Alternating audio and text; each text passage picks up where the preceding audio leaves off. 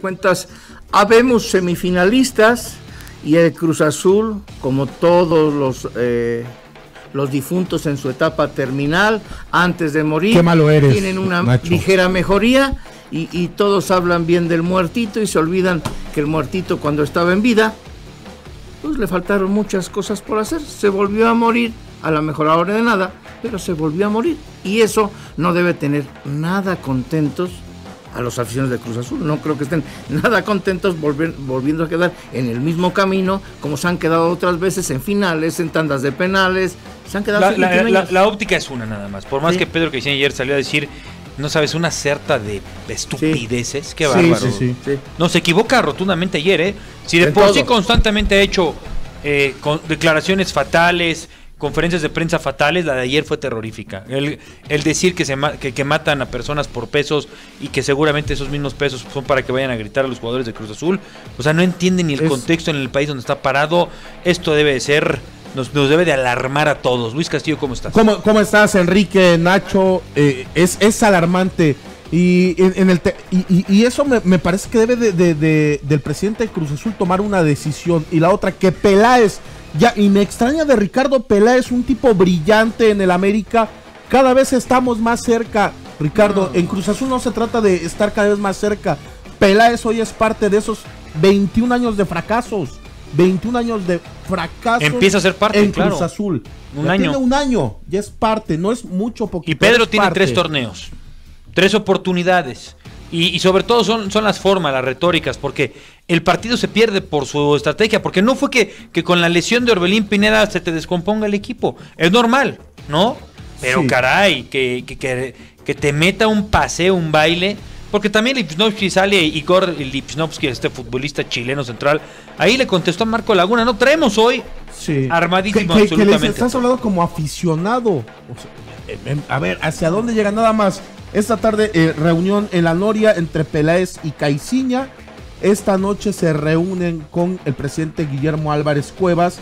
Y hay un personaje que no es Carlos Hurtado, que ya ha puesto en la mesa el nombre de Matías Almeida. Desde anoche nos enteramos, lo dijimos en esta misma frecuencia por ahí de las 8 o 10 de la noche.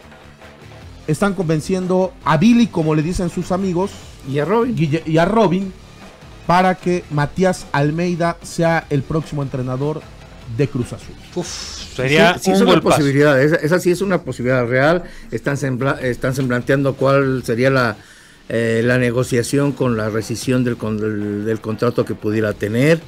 Eh, esperaba yo creo que Matías Almeida que a lo mejor pudieran en esta fase terminal de Chivas, que es otra etapa terminal de, de un grande, este, que pudieran a lo mejor darse golpes de pecho y decir, oye, regresa porque te necesitamos.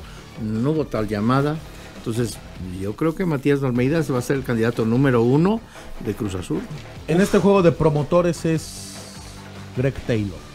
Greg Taylor, el hombre que está atrás, o el que está representando junto con Manuel Velarde, que dicen que ya no está, que sí está, que no está Greg Taylor, es esta agencia que hoy maneja ya en México a Matías Pero es, Heinze, ¿no? Es el- también el promotor de... eh, Sí, pero- Se llama Heinze. Eh, no recuerdo, pero acuérdate que, pa- que pasaba, eh, Nacho, y tú lo trabajaste muy bien, para que en México entrara un promotor de otro país tenía que pasar po- o por Memo Lara o por Hurtado. Ajá. Y hoy sucede lo mismo. Si quiere regresar, es vía ¿Qué notición sería para la máquina tener a Cinco títulos. Mati Almeida? Cinco títulos. Vamos, vamos a escuchar los 21 años sin ser campeón del Cruz Azul. Esta nota, que no se nos lo olvida Pedro, que si está escuchando, Pedro, escucha. Pon atención, lávate las orejas, Pedro. No tiene nada que ver con las respuestas que diste ayer. 21 años sin título del Cruz Azul, te volvió a eliminar el América. También con dedicatoria especial al querido Ricardo Peláez. 21 años sin ser campeón. Seguimos en esta mesa de trabajo. Nacho el Fantasma Suárez, Miguel Ángel Luis Castillo, Miguel Gurbitz, Carlos Ponce de León, Rubén Enrique Beas. ¿Sabes quién va a estar 21 también? años. Desde 21 Miami, años. ¿quién va a estar? Por Carlos Hurtado. No, Carlos Hermosillo. Ah. Estaría bueno. No, Estaría lo bueno. vamos a tener, ¿no? 21 años sin ser campeón de la macho. Con la derrota en el marcador global de 3 a 2 ante las Águilas del América, la máquina cementera del Cruz Azul de nueva cuenta se quedó en el camino y amplió su racha sin poder ganar un título de liga desde aquel lejano invierno de 1997. Son 21 años y medio desde esa tarde de invierno. La escuadra cementera ilvana 28 eliminaciones y liguillas en un total de 43 torneos, 16 en cuartos de final. En 6 ocasiones han sido batidos en semifinales y en 6 veces se han quedado con el subcampeonato. Desde 1997 han pasado por las oficinas de la Noria 6 directores deportivos contando a Ricardo Peláez y 16 directores técnicos con Pedro Caixinha. Si bien es un equipo que se ha caracterizado por siempre estar en la pelea por los títulos desde su época dorada en los años 70, cuando de 1970 a 1980 ganaron 6 títulos. Es alarmarse que en tanto tiempo no se ha podido cristalizar el ansiado título de liga. Igor Lichnowsky, defensor chileno actual futbolista de la máquina, le mandó este mensaje a la afición celeste. Si, hubieras pasado lo que pasaste el, primer torneo desde que llegué yo y el segundo, eso para poder crear a un Cruz Azul multicampeón, ¿lo firmas? Yo te lo firmo aquí, ahora mismo. Triste sería que cuando llegue el Cruz Azul campeón, la gente que no estuvo apoyando diga, hoy yo me tiré del barco antes de tiempo. Pero el que estuvo siempre va a recibir ese gozo.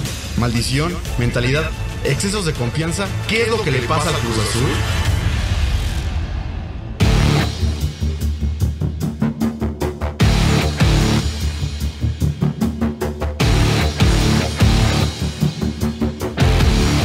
Piúmbale. Qué fuerte, qué fuerte, qué fuerte. Eh, en verdad es increíble cómo pasan los años, pasan los meses, se sigue la inversión tremenda, que eso también vale Claro. la pena como aclararlo, acotarlo, porque a lo mejor puedes decir, oye, el Atlante no ha regresado a tu primera división, tu Atlante.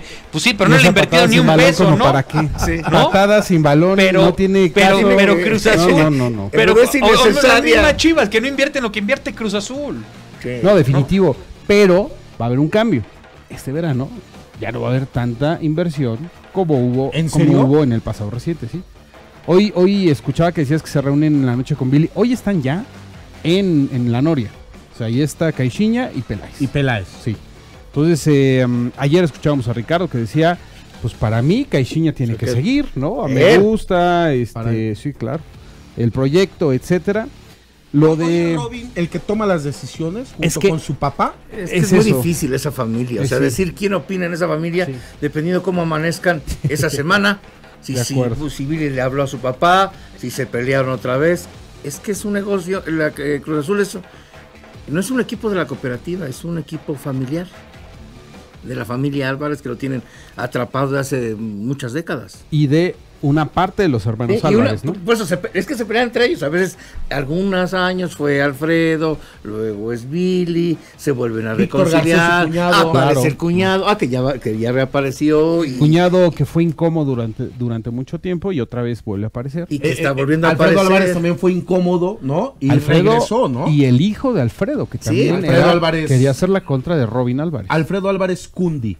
Que es el hijo. Es el hijo, que Correcto. fue director comercial muchos años en la cooperativa. De acuerdo.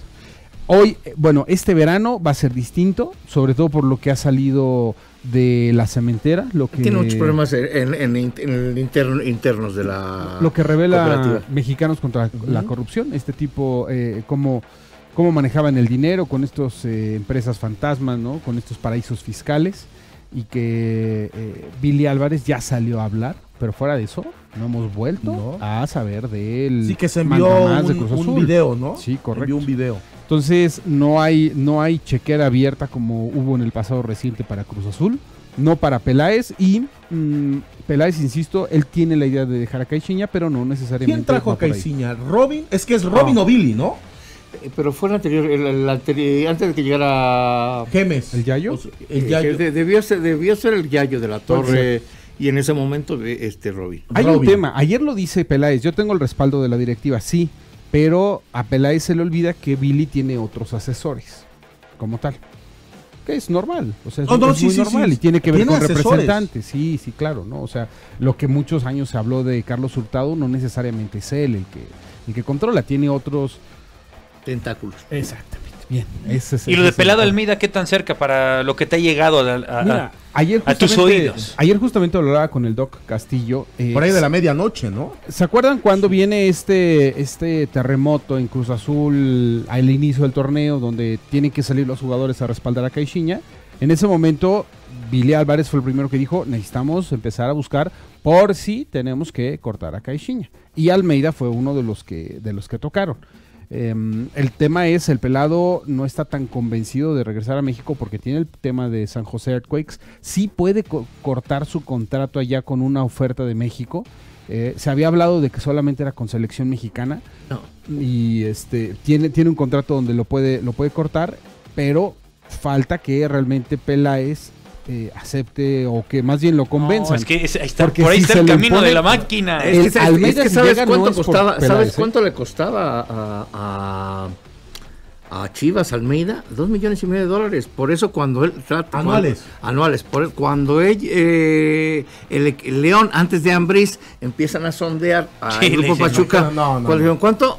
Eh, ¿Cuánto? Ay, perdón, te llamamos después sí porque cobraba dos millones y medio. Pero Miguel es que lo, lo, vale, lo vale. Pero, Miguel cobra más. ¿cuál es, cuál es cuál es el ángulo que le das a esta derrota de nueva cuenta del Cruz Azul, señor? Y el Tuca cobra más. Sí, el, el Tuca cobra casi lo doble bueno, que, me parece que no hay conciencia, que, que, no hay la debida conciencia eh, en el seno de Cruz Azul. Hablo específicamente por la conferencia de prensa de, Pedro Caiciña, eh, donde establece que el aficionado se puede ir satisfecho a casa. Eh, yo, mi, mi, mi, mi, reflexión es, ¿qué tan satisfecho se puede ir un aficionado que tiene un título en, en 30 años? Olvídense de los veintitantos, tiene un título en 30 años. ¿Qué tan satisfecho se puede ir una aficionado de Cruz Azul que, viendo la mejor versión de su equipo, no pudo eliminar a la peor versión de América en liguilla en años. Es el partido más flojo de América en años en la liguilla y aún así no pudo Cruz Azul. No, no, o sea, yo, yo creo que la gente de Cruz Azul ya no está para comprar este, espejitos, ya no está para seguir coleccionando derrotas, por más digna o indigna, por más cerca o lejana que estuviera del, del triunfo, la gente de Cruz Azul cambiaría todo, todo, absolutamente todo sentimiento de frustración por el pase a semifinales, porque ahora resulta que el que se va a casa se va con buen sabor de boca y el que avanza se queda amargado. O sea, ¿de qué fútbol estamos hablando? ¿En dónde estamos parados? hay, una, hay una lógica, Miguel. Eh, el que se queda en semifinales no está nada contento por las formas también, ¿eh? Y porque además están, están capacitados eh, todos los torneos que ha dirigido Miguel Herrera al América en semifinales, todos, todos, todos. Pero ha perdido más semifinales de las que ha ganado.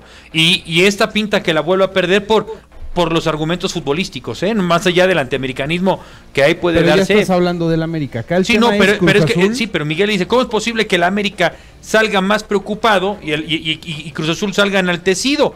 No, pues allá los que quieran enaltecer al Cruz Azul son ellos mismos. O es Pedro, que en verdad.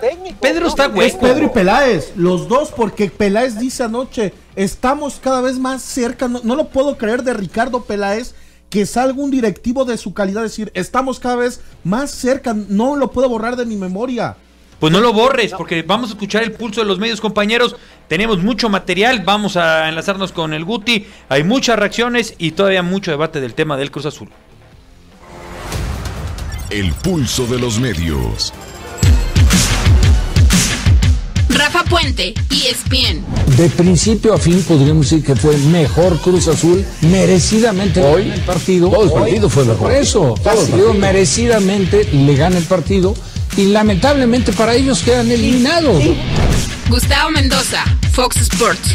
No, hasta cierto momento en el partido pensé que era muy factible. Digo, yo creo que todo el mundo siempre estuvo, eh, pegado a la silla, el que no fue al estadio, pensando que podría darse eh, la voltereta, ¿no? O el empate en el global que le diera el pase a Cruz Azul. En la orilla lo vuelve a echar al América, sigue la paternidad del América. ¿Sí o no? Yo creo que algún sector sí duerme menos triste. Sí, algunos. Ciro Procuna. A ver, reaccionemos a estas palabras de los técnicos. Pueden entrar por donde gusten. Yo me voy con lo que dijo Caiciña. Todos los cruzazulinos se van satisfechos. Falso, falso, es otra eliminación. Yo sé que se juega mejor en la vuelta, pero son series de 180 minutos. Normalmente lo que dejas de hacer en la ida te pesa en la vuelta. Y Cruz Azul jugó muy mal a partir del minuto 20 del primer tiempo del juego de ida. Entonces no creo que se vayan satisfechos. En algún otro momento dice, porque hoy estamos más cerca de lograr el campeonato. Bueno, el año pasado llegaron a la final y perdieron por escaso margen. Ahora se quedan en cuartos de final. Alberto García Aspe, Fox Sports. Sí, debe haber una parte que está menos triste por la manera como jugaron. Le ganaron a, la América en este partido, no estoy hablando de la eliminatoria, que no le habían ganado no sé hace cuánto, le había costado mucho trabajo y se vio un Cruz Azul por lo menos, yo por lo menos vi un Cruz Azul diferente, con personalidad buscando ir al frente, pero coincido que pues la meta no se consiguió, entonces siguen quedándose fuera. Carlos Córdoba, MBS TV. Parece que Cruz Azul hoy sí le puso esas amígdalas necesarias para ganar un partido después de tantos en los cuales no se había conseguido esa anhelada victoria sobre América. Pero bueno, pues agridulce sí, no por como jugó Cruz Azul, sino por la situación de que Marchesín es un gran arquero. Pues la situación de que Caiciña se quedará un semestre más, se le dará la oportunidad, además de que Ricardo también reconoce, ya hay refuerzos que están siendo vistos. El informante.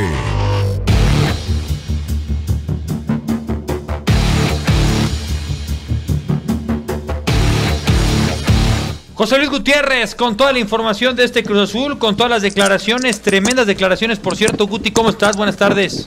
¿Qué tal? ¿Cómo están? Buenas tardes, compañeros. Un gusto saludarles a ustedes y ta- también a todo el auditorio. Bueno, pues obviamente eh, desoladas las instalaciones de, de la Noria este día, después de un nuevo fracaso, después de un nuevo tropiezo ante las Águilas del América. También ganaron el partido de día de ayer, pero fueron eliminados en estos cuartos de final de la liguilla. Muy pocos elementos fueron a recoger algunas cosas. Edgar Méndez, Caraglio no se pararon, los que están en rehabilitación. El caso de Elías Hernández, Salas y también Gerardo Flores, pero ninguno se quiso parar con nosotros, con los medios de comunicación, para platicar. Estuvo Pedro Caiciña y Ricardo Peláez, que están reunidos eh, para obviamente presentar pues el informe en la reunión que tendrán hoy en la noche con Guillermo Álvarez Cuevas. Vamos a escuchar primero las palabras de Pedro Caiciña hablando sobre lo que fue este partido de vuelta de los cuartos de final ante las Águilas del América, donde dice que se van con la frente en alta, pero el hecho de haber quedado eliminados creo que sí es un fracaso para esta institución. Vamos a escuchar las palabras del portugués. Sí, es verdad.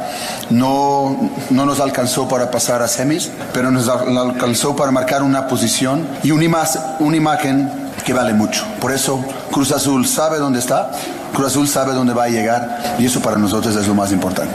Muchas veces es más importante que, que incluso este pase.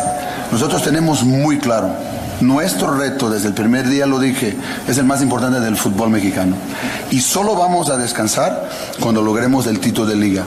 Y sabemos que en este momento estamos más cerca. Radio Centro Deportes. Pues ojalá que no vayan a pasar muchos años o que vayan a descansar ya después de la posteridad, porque la afición está molesta. Pedro Caiciña ayer dio unas de- declaraciones desafortunadas en el sentido de que pues se le paga, que, fue pagada a la afición que fue a reclamarles, que aquí en México se pagan dos pesos por matar a la gente. Desafortunadas esas declaraciones de Pedro Caiciña. Vamos a escucharlo. La, afición que, que, que estaba comprada. Estaba comprada. O sea, para eso fue. Ya sabes que aquí un par de pesos se paga muertes, pues también paga alguien que pueda llevar unas, unas, ¿cómo llaman a eso? Para poder estar ahí.